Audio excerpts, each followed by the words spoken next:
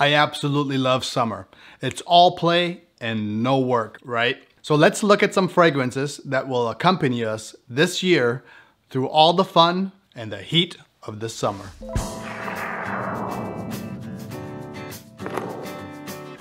By time summer comes around, I usually am ready to switch up my fragrances to sort of a fresher feel to kind of offset the stickiness of the heat of the summer.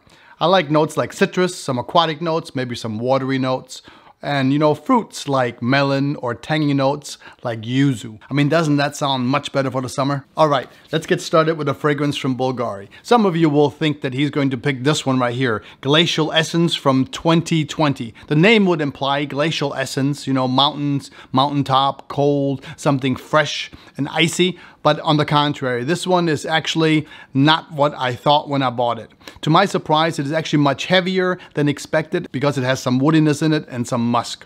It's actually quite quite deeper. My choice for the summer is a 2019 Bulgari and it is going to be Wood Neroli. Now this one right here is a perfect example why you can't just go out and buy a fragrance because of the name. Because Wood Neroli would assume that this one right here is going to be a deeper woody fragrance with some neroli uh, scattered throughout. It actually is a beautiful uplifting fragrance with a floral neroli and some cypriol oil in it.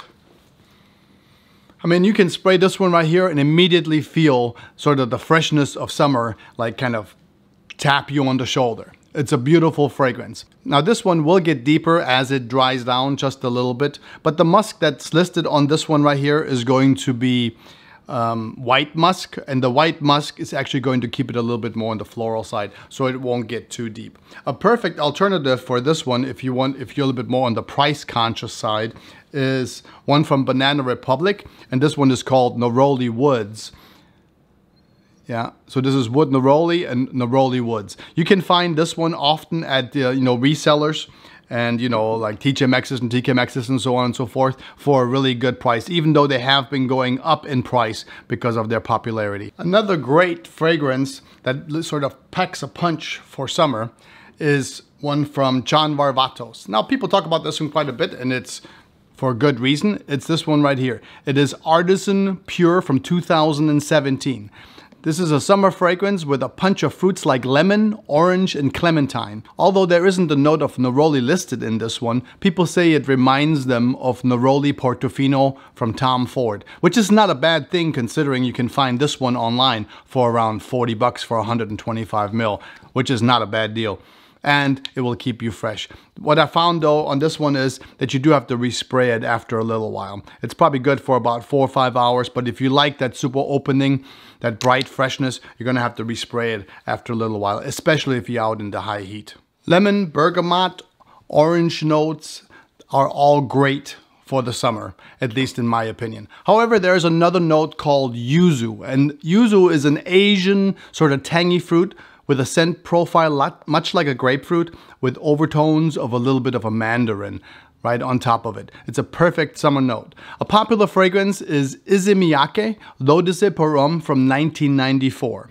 If you want a fragrance that is almost 20 years old and is still popular today and also will be popular for the next 20 years, then this one is one to get. This timeless freshness was created by Jacques Cavallier and I swear you can still wear this one today. It smells so good and it always refreshes you when you spray it in the summertime.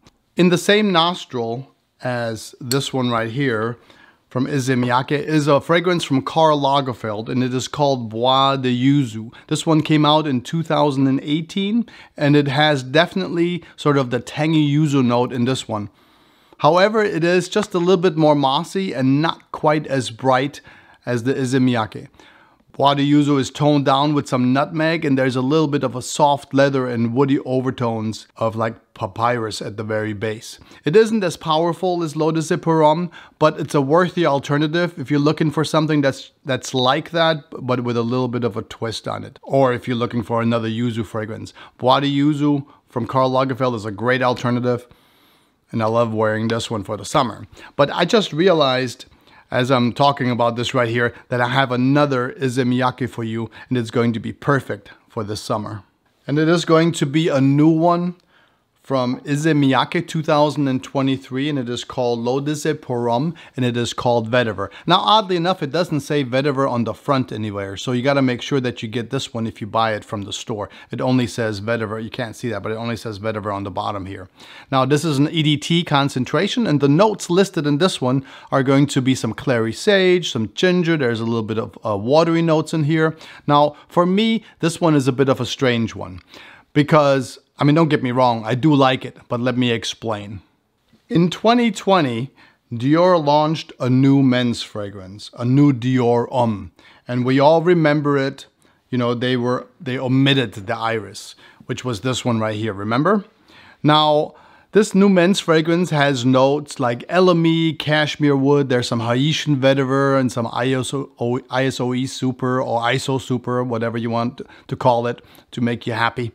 Uh, I say ISOE super because that's how I read it, but it's a big change from the original. Now, it took me a bit, but I like it now. Then in 2021, they launched a sport version which added some aldehydes to the fragrance.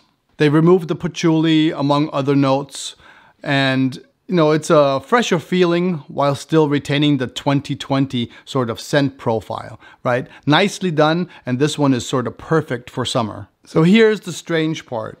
When I wear the Issey Miyake vetiver from 2023, I constantly get reminded while I'm wearing it of the Homme 2020 and the Dior Homme 2021 Sport. Even though when you look at the note comparisons, at least online, they are completely different. So I do have to mention that's only in the air. If I smell the bottles, they don't smell anything alike. I mean, that's for sure. But in the air, as I'm wearing it all day, I constantly get reminded of these two fragrances when I wear the vetiver. They don't smell anything alike but in the air, they sure enough do. So where does that leave us? That's a really good question. I personally recommend on these three that you go out and maybe perhaps go to a store and get your nose on it, you know? Maybe even give it a spray on your skin and see which one sort of wears best for you on your skin. Because to me, they are sort of similar in the air, and you don't want to end up spending your money and ending up with, you know, three similar scent profiles because it is quite unique, and I think you only need one of them for that scent profile. If you don't care and you don't say, I don't mind if I have, you know, similar scent profiles, I really love this one. You know, here's what I do. I wear the original 2020 when it's fall or, sp or spring, when it's kind of cooler outside. I wear Dior Sport in the summer, and if I want a touch of clary sage, then I go with the Issey Miyake for summer. And then if you're completely like, oh my God, my head's just about to blow off, this is way too much for me, then here's what you can do. Just go out and get yourself the cologne from 2022. This is a beautiful fragrance. You bypass the other three, just get this one. Simply beautiful. It's a gorgeous summer scent and it only has three notes. It has Calabrian bergamot, it has some grapefruit blossom, and some white floral musk. This is a perfect fragrance, easy to wear. It's luxurious for the summer. Mm, and it has a wonderful dry down. Think ice cold lemon water in the style of Dior.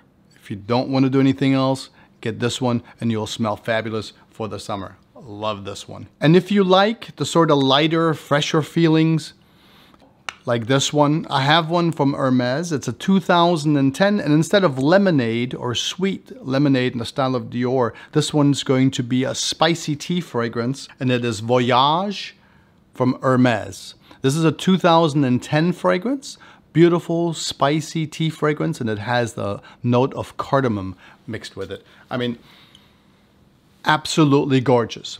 Now, this one is not going to last too long. It's very light. It's, um, you know, very delicate. It's perfect for those like super hot days when you're outside. Uh, but if you want a little bit more longevity, then you can go with the Voyage from 2012. And this is the uh, perfume version. And it adds a little bit of amber and a slight touch of rose. Also very beautiful. So this one is very light, delicate for hot summer days. And if you want a little bit more longevity, you can go with the perfume version right here. You know, they both have the same bottle. One's black and one's light. And the, let me see, there you go. And you can put them on your shelf like that. Not bad at all from Hermes. 2010 and 2012. Two great summer fragrance. In my opinion, these are underrated. They're awesome for when it's really hot outside. And of course, I have to put the next one in here because it's one of my all-time favorites to wear in the summertime. And it is going to be a Chanel. It is Allure Homme Edition Blanche this one right here. Now, lots of people have talked about this one, and so I won't spend too much time on it. It's lemon bergamot, some soft woody sandalwood, some vetiver, and it's all sort of surrounded by vanilla. This is a gorgeous summer scent in the style of Chanel. Now, you will have to buy this one, unfortunately, at the Chanel store. You can't really get it anywhere else. You know, you can go online and get it. It's fine. And, you know, it's a hundred and something bucks, 120, 125 bucks or something like that. But it is absolutely worth it. It's one of my favorite things my favorite fragrances to wear in the summer. You know, that whole Allure line is really good. This one is the one when it's hot outside. This is the one to get, even though you got to buy it online and it's a little bit more effort. But in my opinion, it's worth the effort. But you know what else is worth the effort? yep, you guessed it. Hitting the like button and subscribing. Of course, only if you're getting anything out of this at all, any value. If not, please let me know why you think so in the comments. And then subscribe and like anyway. Deal? At the beginning, I'm always thinking I'm only gonna do 10 fragrances. But then there are so many good ones and I always end up with more. What can I say? I absolutely have zero self-control when it comes to fragrances. All right, let's do a couple more for summer if you're up for it. Now we already had an Hermes fragrance a little bit earlier. So the next one is also going to be an Hermes and it is going to be a perfect combo with a Dolce & Gabbana fragrance. This is the 2022 Eau Givrée from Terre d'Hermes. And this one is Dolce & Gabbana Light Blue Forever from 2021. In the summertime, you can switch between these two. You can switch between the citron that's in the Eau or the tart grapefruit in Light Blue Forever. Both of these will absolutely perk you up in the summer. I love wearing these and you can pretty much wear them at any point, at any time. Two great fragrances for summer. Definitely will perk you up once you spray these. You can actually put these in a, like a cold environment, like a refrigerator, and when you spray it, it'll freshen you up. Of course, sour is nice in the heat. We'll do one more and then we'll call it quits. I'll keep you long enough.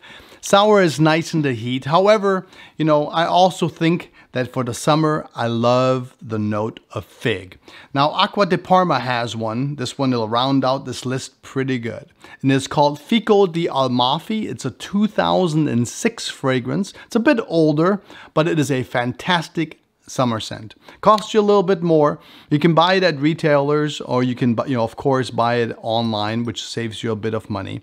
And this one right here, you will have the citron, the grapefruit combined with lemon and bergamot. Pretty much all the summer staples will be in this one. The citruses are sweetened with a beautiful note of fig that's all surrounded by jasmine. I mean, this is a beautiful, elegant summer fragrance and it'll have you smelling awesome for the summer. And as a little extra tip, if you don't want to fork out the money for this one, if you look, you can find Noble Fig from Ferrari. It's also a fig note and it's very much along the similar line if you want a fig note for summer. I hope you had fun. If you did, hit the like and subscribe to Scent After all, our journey begins with but one scent. Until next time, I want you to take good care of yourself always smell nice. And I will talk to you soon.